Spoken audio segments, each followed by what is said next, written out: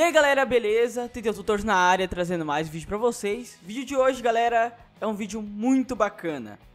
Muitas pessoas têm problema com o touchscreen do teu celular, né? Isso é quando você troca a tela, né, do seu celular, leva na assistência técnica, vai lá, troca a tela e fica com problema de touch. Ou então é com o passar do uso, né? Conforme você vai usando ele dia a dia, o touch vai ficando descalibrado e a gente vai mostrar pra vocês uma dica que não precisa você levar na assistência técnica, você mesmo pode fazer através de um aplicativo da Google Play.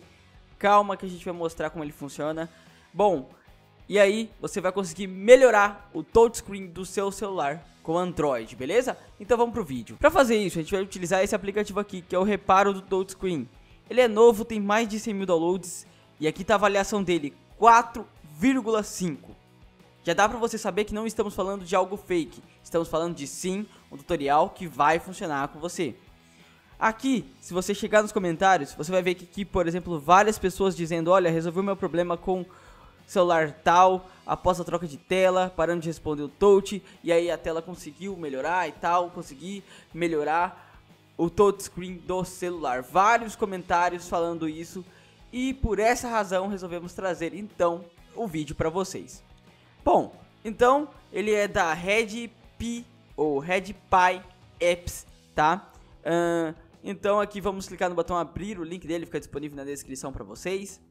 E aqui então vai mostrar como ele funciona. Eu vou ler para vocês aqui porque é importante, né?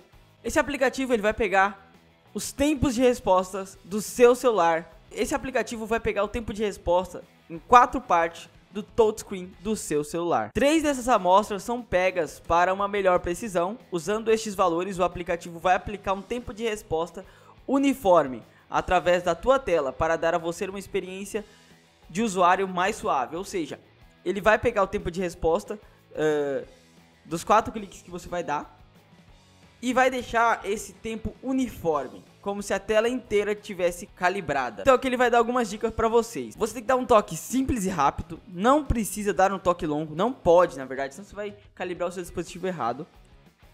Não precisa arrastar o dedo também. E depois disso é só você reiniciar, tá?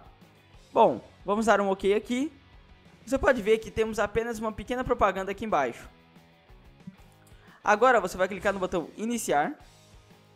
Então olha só, ele tá falando aqui, ó, dê um toque na área verde. Um toque simples e rápido. Não dê um toque longo e muito menos arraste o dedo. Então vamos dar um toque rápido aqui, ó. Feito isso, ele vai preparar a área 2 para a amostra 1, coletando o tempo de resposta. Então olha só, aqui a gente já tem um tempo de resposta aqui. Agora vamos dar novamente mais um toque rápido aqui na área 2. Novamente agora, preparando a área 3. Olha só então, e na quarta. Agora ele na quarta já está fazendo todo o processo de calibração mais uma vez. Então agora novamente vamos tocar na área 2, área 3 e vamos fazer esse processo três vezes em cada área aqui. Então agora vamos para a terceira vez nas quatro áreas. Vamos lá. Então olha só, ao final ele já identifica o meu celular, tá falando, calculando os valores e tal da calibração.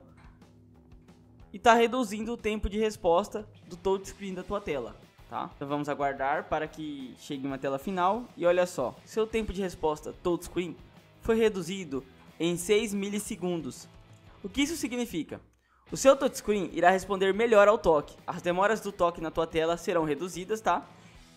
E para você digitar no teu teclado virtual vai ficar mais fácil. E agora, para que você consiga ver esse resultado funcionando quando você for digitar, principalmente, eu tinha um problema com esse celular de digitação uh, por a tela não estar tá tão sensível ao toque, uh, basta você agora reiniciar o seu dispositivo e você já consegue observar melhor esses resultados, tá? Então o aplicativo ele funciona muito bem. A partir de agora, então, ficou muito mais fácil você reparar o touchscreen do seu celular, tá?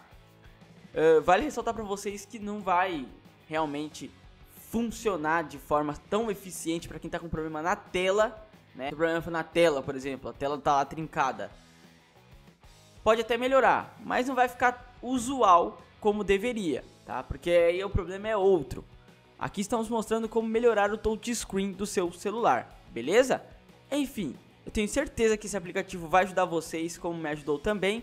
Se você gostou do vídeo, deixa o gostei. Se for novo por aqui, se inscreva no canal, compartilhe o vídeo em suas redes sociais E nos vemos como sempre, galera, em um próximo vídeo. Muito obrigado, eu fui, valeu, tchau. Thank you.